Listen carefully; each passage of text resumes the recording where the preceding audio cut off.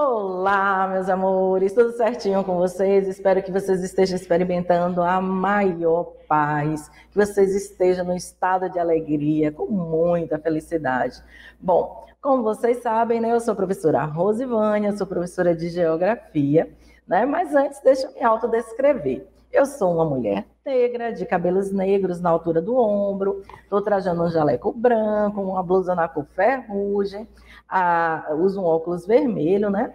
Atrás de mim tem a logomarca, né, da Prefeitura Municipal de Feira de Santana, tem a logomarca da Secretaria Municipal de Educação, tem uma frase assim, caminhos da educação, e muito bem acompanhada, né, na presença de Cristiane.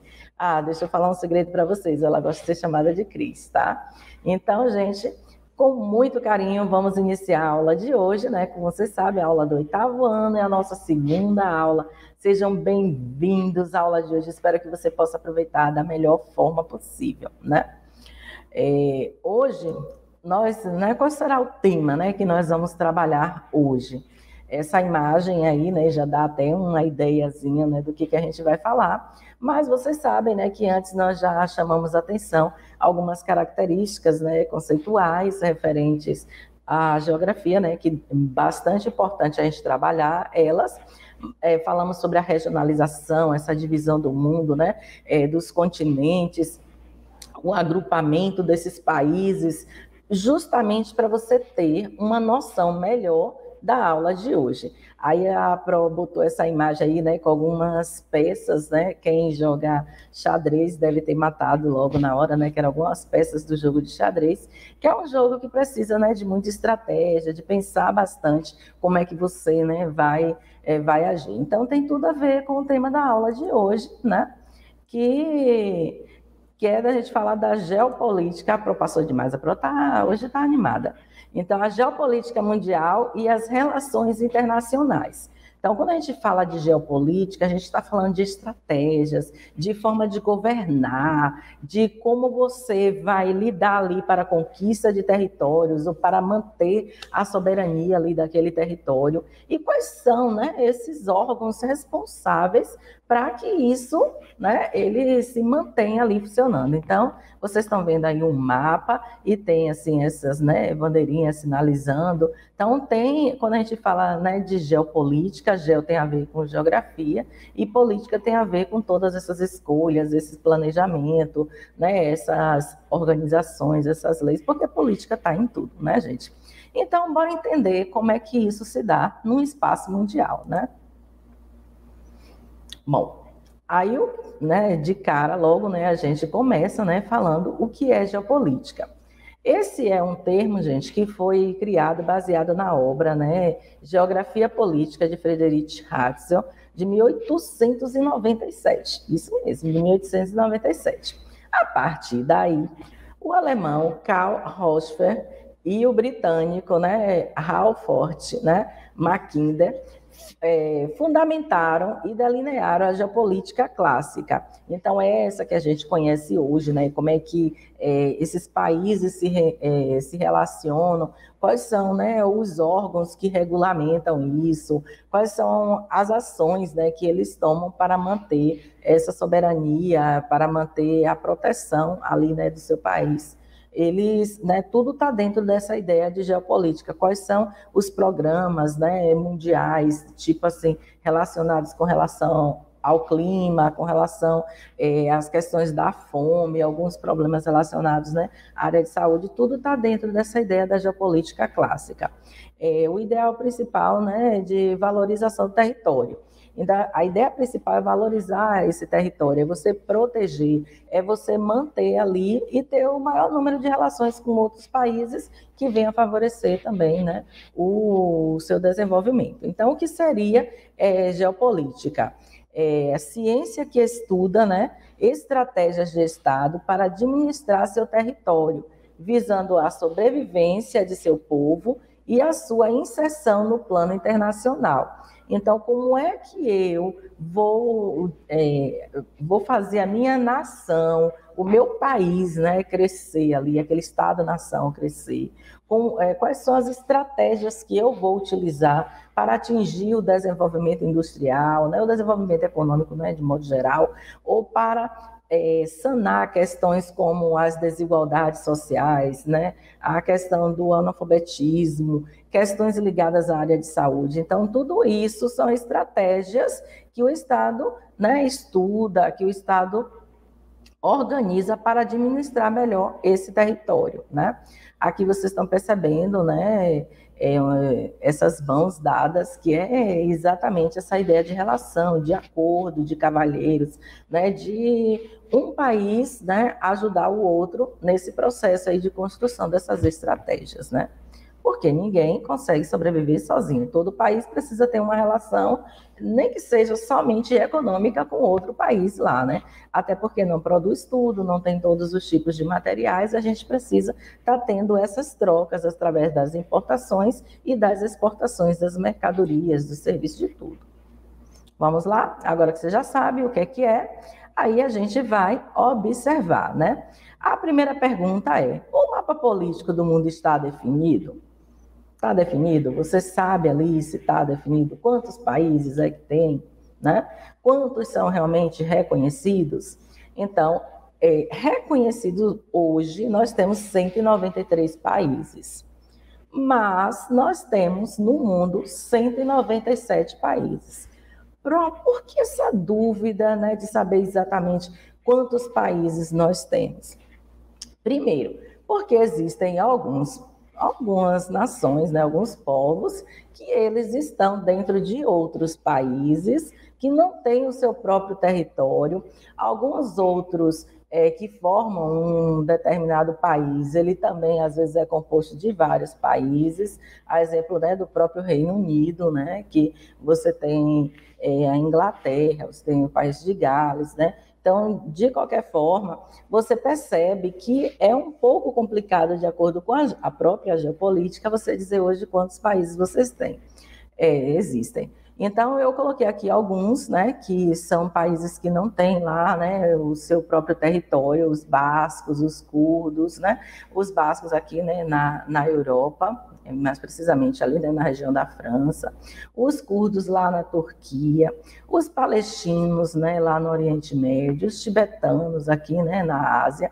Então, de qualquer forma, esses são povos que estão espalhados aí pelo mundo. Eu coloquei né, alguns cantos, mas eles estão espalhados pelo mundo, ele tem suas características sociais, tem o seu povo, tem sua cultura, têm sua própria língua, mas que eles estão dentro de outros países e eles não podem exercer né, sua soberania porque eles não têm ali o território. Então, tudo isso são conflitos que precisam ser administrados para chegar na hora e dizer são tantos países. Então, essa é a situação atual hoje. Reconhecidamente, nós temos 193 países, mas é, a comunidade né, internacional aceitam que nós temos pelo menos 197 países, né?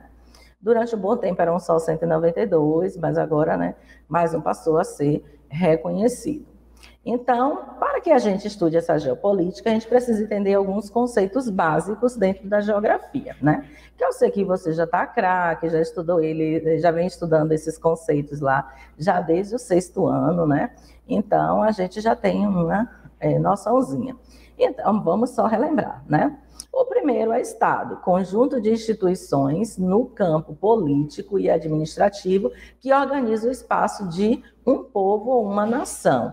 Então, você, aqui nesse caso, a gente está entendendo Estado, né, no espaço maior, não só aquela divisão né, política dentro né, de, um, de um país. Então, esse conjunto de instituições, né, de Estados, a exemplo né, do Brasil, exemplo dos Estados Unidos, eles ali dentro do campo político administrativo, eles organizam aquele povo, aquela nação. Então aí tem o governo, né, representado pelo poder executivo, tem o poder legislativo, né, da questão é, que criam ali todas as leis, tem o poder judiciário, né, que é aquele que vai praticamente né, cobrar e julgar né, a aplicação dessas leis ele é o que vai dar aquela soberania ali, que você diz que aquele espaço ele tem um poder, ele tem alguém que controla, que comanda ali aquele espaço.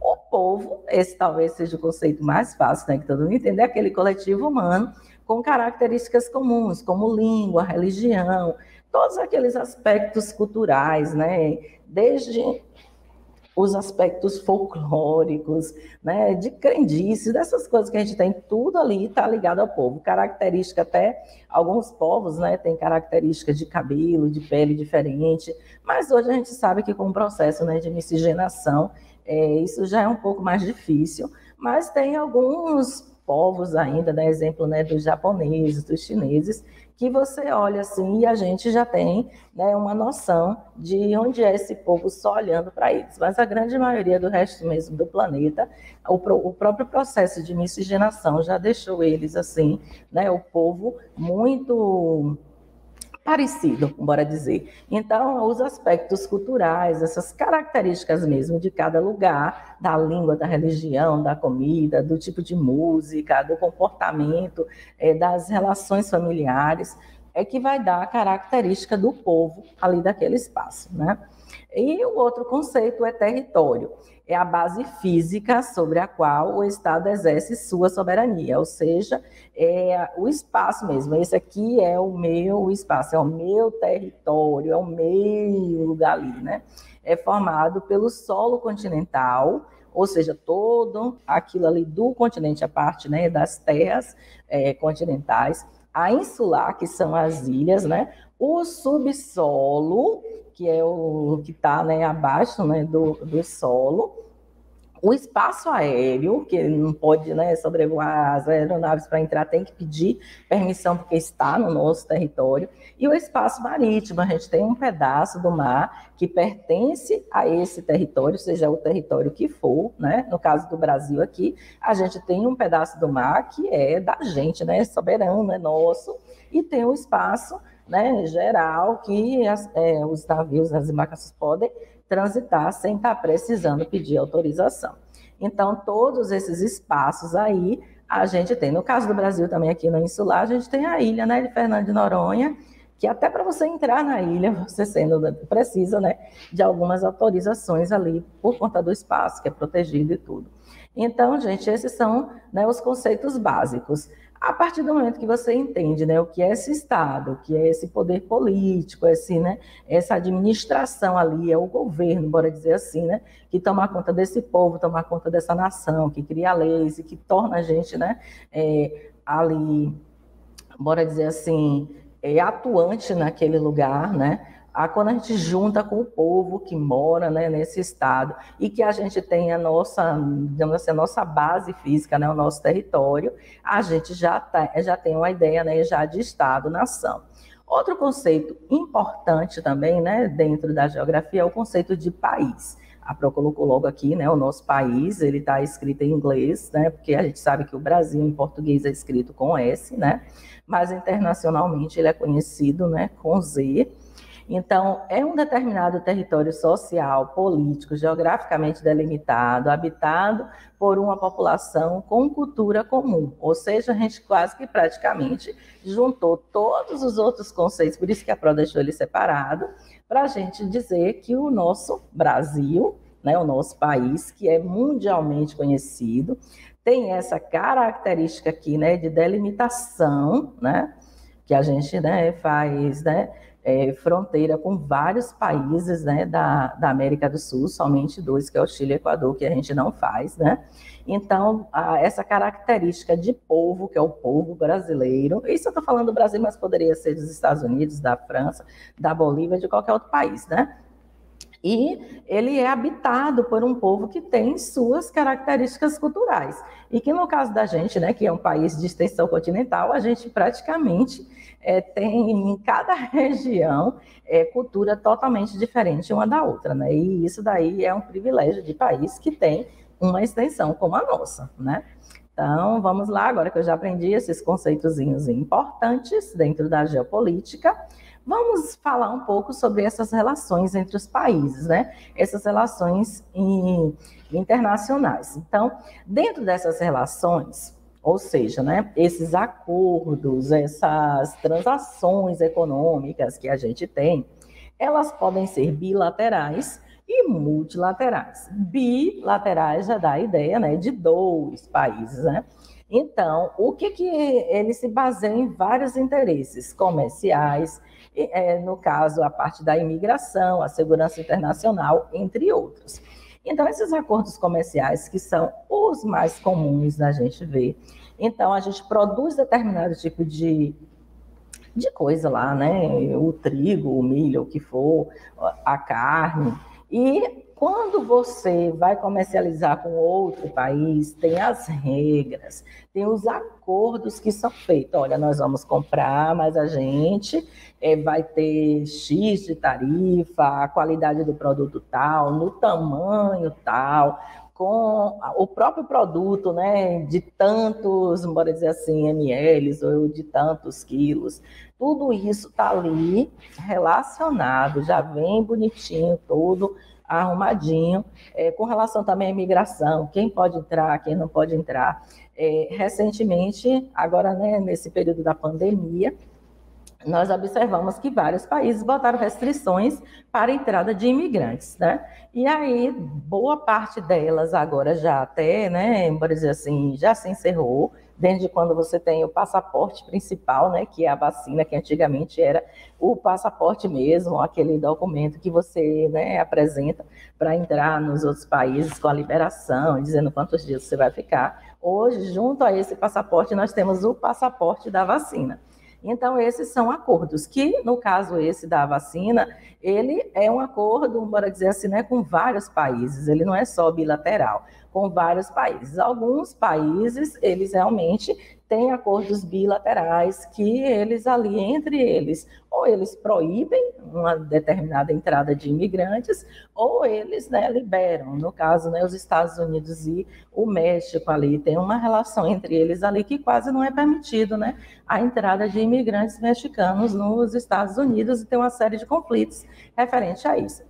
Já os acordos né, multilaterais, que já envolvem vários outros países, né, se caracteriza pela obrigatoriedade de adesão às regras por todos os participantes.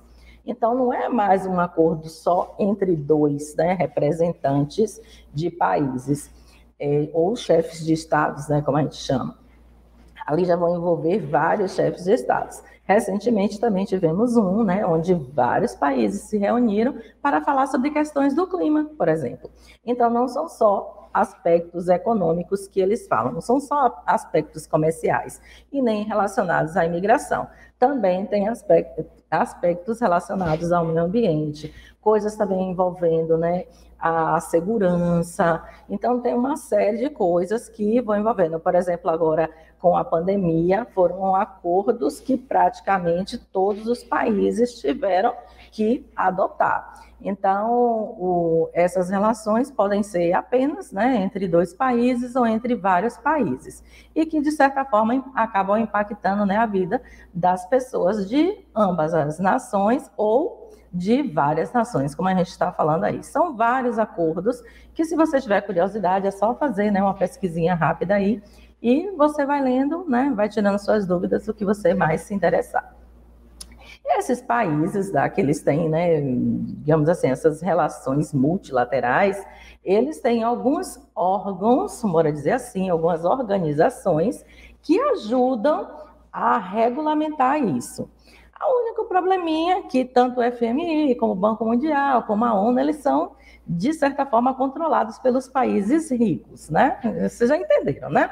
Então, dentro de um, de um cenário geopolítico, com geoestratégias, os países ricos é quem comandam né, essas organizações, essas três que vocês estão vendo aí. O Fundo Monetário Internacional, que é o FMI, o Banco Mundial, né, que agora está atrelado também, né, o BID está atrelado a ele, e a ONU, que é a Organização das Nações Unidas. Tem várias outras, né, que a gente poderia estar colocando aí, principalmente até ligada à ONU, né, como a Unesco, como a FAO, né, que é relacionado a, a questões sociais, né. Então, o FMI, qual a função dele, né? Pelo fato de ser um fundo monetário, é emprestar dinheiro para as nações. Mas para ele emprestar esses dinheiros, os países têm que cumprir algumas exigências. E essas exigências né, às vezes custam até mais caro para botar elas em dia. E às vezes acaba maquiando também para que pareça que atendeu e na realidade né, só deu uma maquiadazinha ali para que é, o inglês veja, embora assim, quando é para inglês ver, não tem uma expressão aqui que a gente diz isso.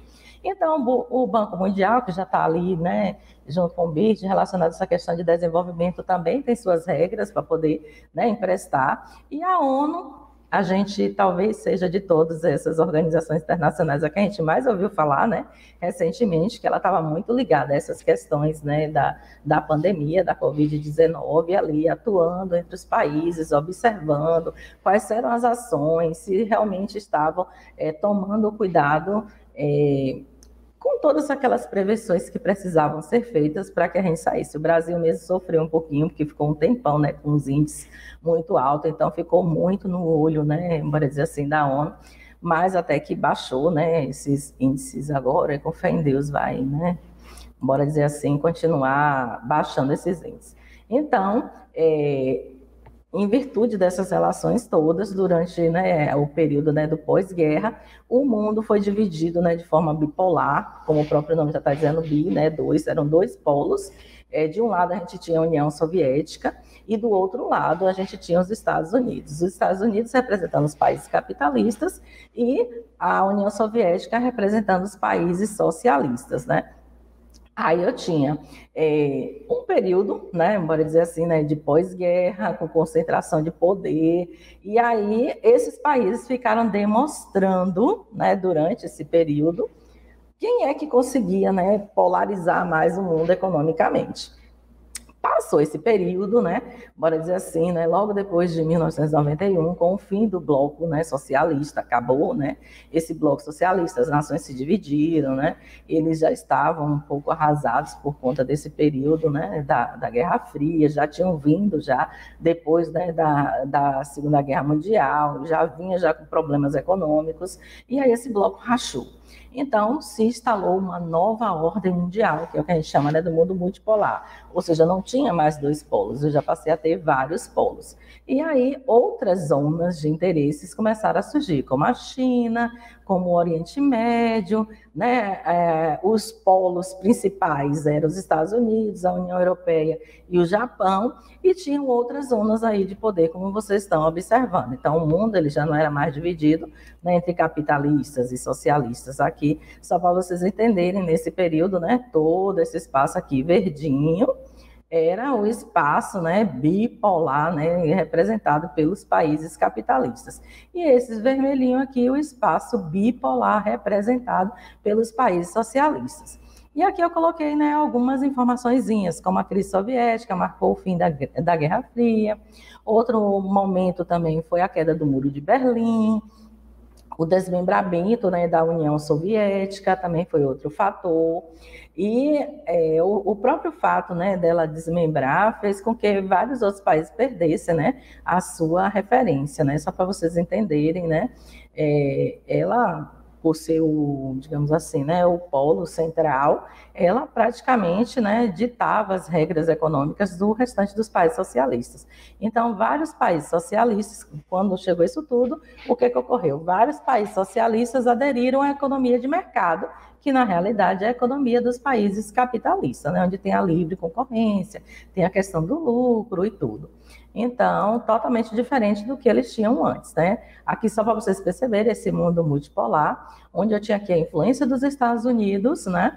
Olha toda essa partezinha aqui, né? Laranja, a influência dos Estados Unidos, a influência da União Europeia e a influência né, do, da área do Japão. Então, vocês percebam que esses outras, que como né, já foi dito, essa outra parte ali, né, representada pela União Soviética, pela China, eram os outros espaços, mas os principais eram esses três aqui que vocês estão vendo, né? Tem aqui uma outra divisão, né, em países do norte e países do sul, é uma linha que não é reta, mas tudo que estava acima desse país aqui era considerado, ou dessa linha aqui era considerado países ricos, e tudo que estava abaixo dessa linha é considerado né, países pobres.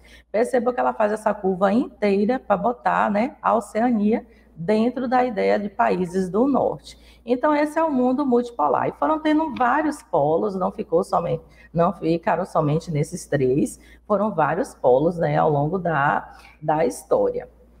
Bom, o que, que a gente né, deve chamar a atenção nessa aula de hoje, principalmente? É para a gente entender que essa geopolítica mundial é, transformam esses espaços, onde você vai perceber que os países polos, né, que as áreas polos têm um alto desenvolvimento industrial, sua população tem um, um de bom, né, a ótimo padrão de vida, eles não, quase não enfrentam, né, não vou dizer que não enfrentam, quase não enfrentam problemas né, de fome, problemas de, eh, de analfabetismo, é, problemas relacionados à saúde. Então, eles têm um padrão de vida muito alto, bastante elevado nesse aspecto aí.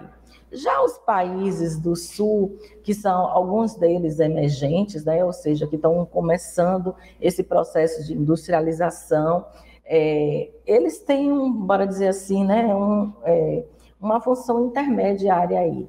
Então, faltam muitas coisas, como emprego, né? quase todos eles estão passando por esse problema do desemprego. Então, falta emprego para o povo. Se falta emprego, todos os outros fatores atrelados nessas essas questões econômicas vêm junto, como a fome, é, como violência, como a questão né, do, é, do analfabetismo, porque muitas dessas pessoas deixam de estudar para poder né, é, fazer ali aqueles empregos temporários, que aqui no Nordeste a gente chama de bico. Né? Então, vive toda uma situação ali conflituosa. Existem, né, é, dizer assim, continentes, às vezes, que vários países, a exemplo né, da, da própria África, vários países passam por muitas necessidades e que, às vezes, esse olhar geopolítico mantém eles ali daquele jeito, porque é estrategicamente interessante, né, economicamente, para eles continuarem no poder do jeito que eles estão. Então, a geopolítica ela envolve essa série de questões, com essa série de órgãos aí, que acabam até cristalizando, que acabam é, mantendo essa situação de desigualdade entre os países. Então, é, Existem países que até hoje ainda sofrem a né, interferência de outros com vários conflitos, principalmente ali no Oriente Médio, virou mexeu, tem aquela, né, toda aquela problemática ali do petróleo. A gente tem é, situações relacionadas também a aspectos ambientais, como no caso do próprio Brasil, que a gente vive né, essa situação de desmatamento, de roubo de, é, de de materiais genéticos, de animais, de tudo.